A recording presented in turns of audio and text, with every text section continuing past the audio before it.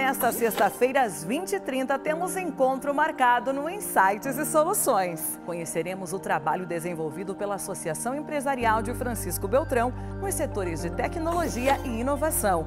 Em especial, conheceremos o Ciclo, esse hub de inovação para empresas.